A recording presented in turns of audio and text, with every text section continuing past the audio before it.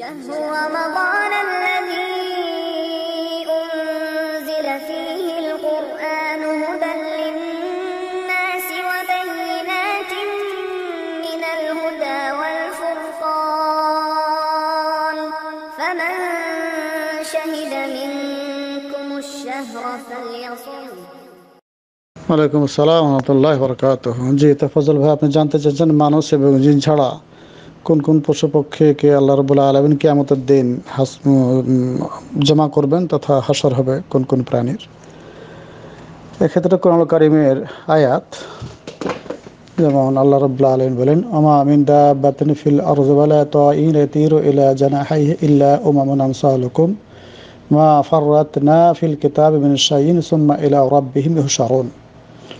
আল্লাহ রাবুল্লাহ আলমিন বলেন, ভূপৃষ্ঠে চলমান প্রত্যেকটি জীব বায়ুমণ্ডলে তথা আকাশে উড়ন্ত পাখি এবং তোমাদের ন্যায় সব জাতিকেই আল্লাহ রব্বুল্লাহ আলমিন কীভাবে লিপিবদ্ধ করে রেখেছেন, কোনো কিছুই ছাড়েননি।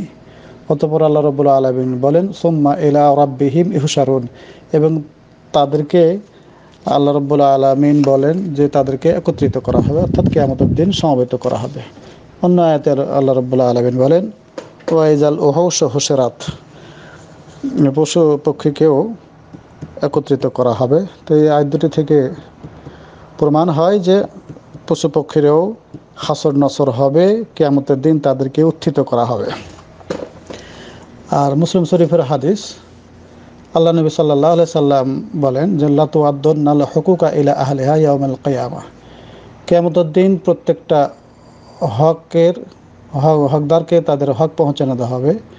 এমনকি সিংবিহীন ছাগলকেও যে সিনওয়ালা সিংওয়ালা ছাগলে অত্যাচার করেছিল, জুলুম করেছিল সিংওয়ালা ছাগলের কাছ থেকে প্রতিশোধ নেওয়া হবে।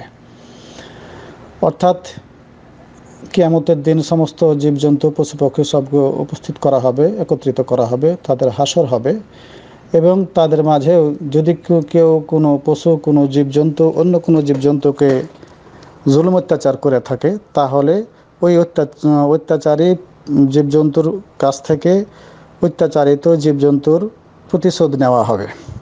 এরপরে তাদেরকে মিটিয়ে দেওয়া হবে।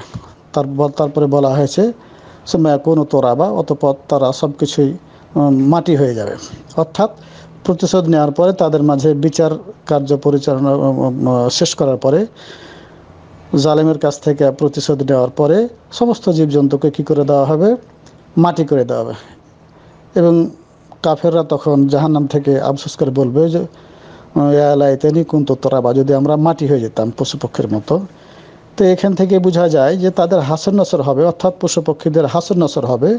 হাসর নসরের পর যদি কোনো তাদের মাঝে কোনো অন্যায়, অবিচার হয়ে থাকে, তো সেটার ফয়সালা করার পরে তাদেরকে মিটিয়ে দেওয়া হবে, মাটি করে দেওয়া হবে। তাদের জান্নাত জাহান্নাম আর কিছু থাকবে না। কিন্তু মানুষের ক্ষেত্রে তা নয় এবং জিনের ক্ষেত্রে তা নয়। জান্নাতের ভালো আমলকারীরা জান্নাতে যাবে এবং যারা পাপ কাজ করবে তাদের জাহান্নামে যেতে হবে। ভাই, এতটুকুই। আল্লাহ রবুল্লা আলমিন আপনার এলেম বরকত দান করুন। আল্লাহ আমিন। জাজাকাল্লাহ খায়ন আসসালামু আলাইকুম রহমতুল্লাহ।